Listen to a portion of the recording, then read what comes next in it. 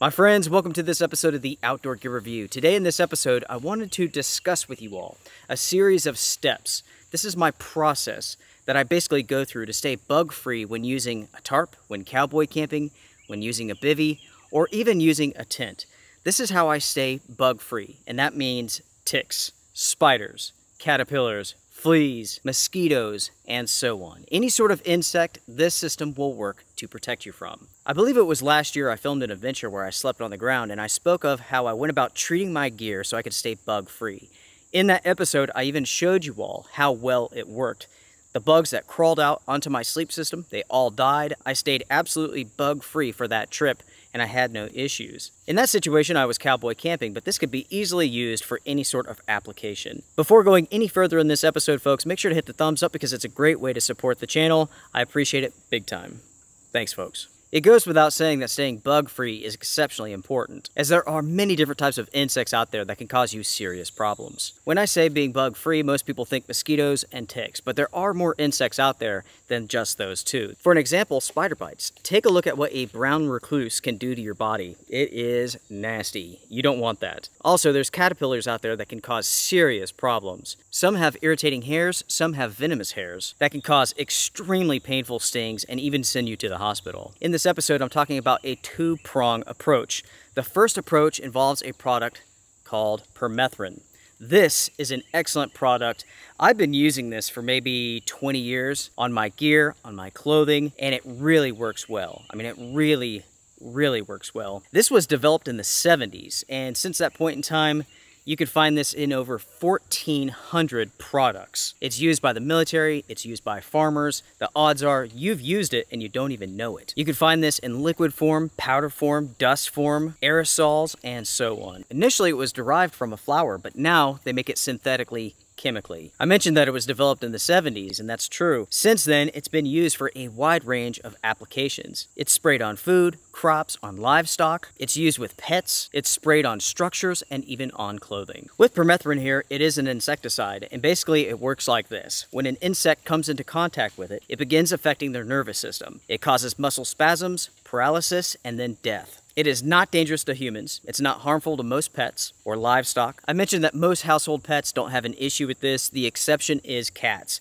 Cats have a little bit harder time dealing with this chemical, so if you treat your clothing, your gear with this stuff, don't leave that stuff laying around the house for your cat to lay on it or something like that. It does take a rather large exposure for a cat to have a problem, but still, I wanted to mention this. You can use this to kill ticks, spiders, caterpillars, mosquitoes, fleas, roaches, flies, and so on. You may be wondering what you can treat with this product, and the answer is just about anything. You can treat your clothing, shirts, pants, shorts, socks, shoes.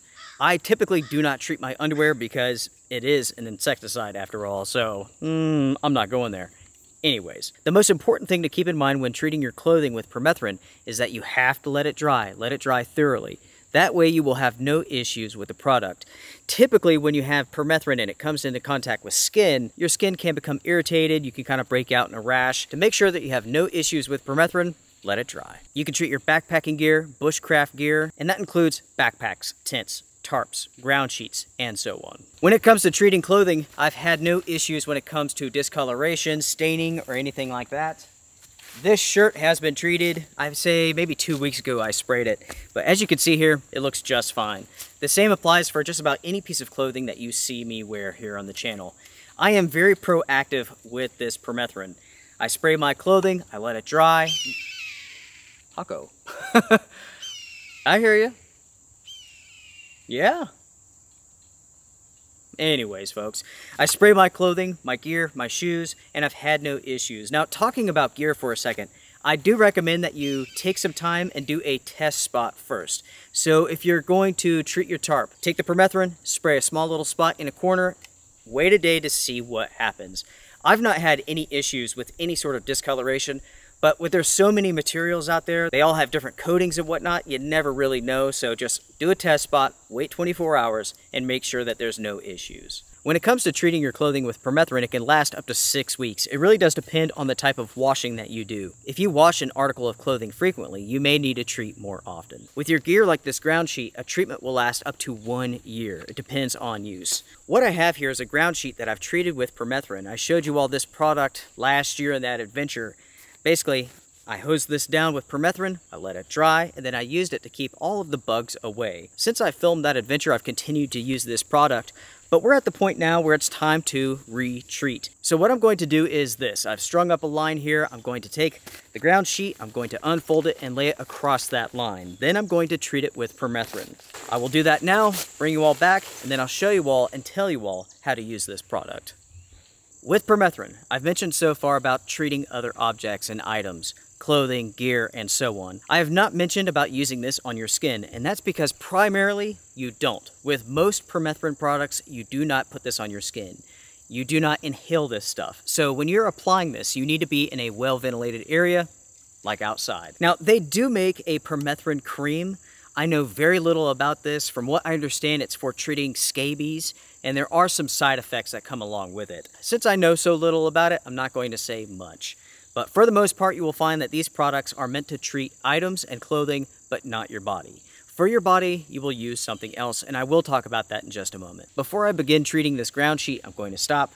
I'm going to get a sense of the wind direction. It's coming this direction. So I will stand to the side when treating this product, so I don't have to worry about this blowing all over me. And I don't have to worry about breathing it in.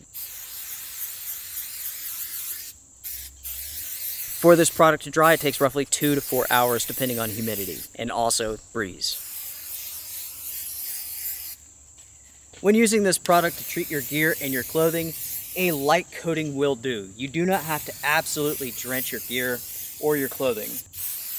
Now that I have the one side done, I will wait for roughly an hour flip it, and spray the underside. At that point, I will let the product dry for roughly four hours, then I will store it and use as needed. When using a ground sheet like this that's been treated with permethrin with your adventures, no matter what you're using, you can use tent, bivy, cowboy camp, on the ground, under a tarp, whatever, you are giving yourself a ton of protection. Protection that works extremely well. And one good aspect is that you can take that ground sheet and use it for any sort of shelter setup, right? So maybe you're going out with a tent. You take the tent, you put it on top of the ground sheet, you can leave some of that exposed, right? And then you don't have to worry about bugs crawling onto your shoes, getting inside, and so on. If you spray your tent body with permethrin, you don't have to worry about ticks and bugs, even spiders crawling all over and whatnot. You can use permethrin to treat your bivy. So if you're out bike packing, for an example, it's getting late, you hop off the bike, you throw down your pad, your bivy, you hop in, and you don't have to worry about any bugs. And now everyone, we have to talk about bug repellent. With permethrin, that's an insecticide, so it kills bugs, but it does not deter them. So you have to think about your skin, your exposed skin.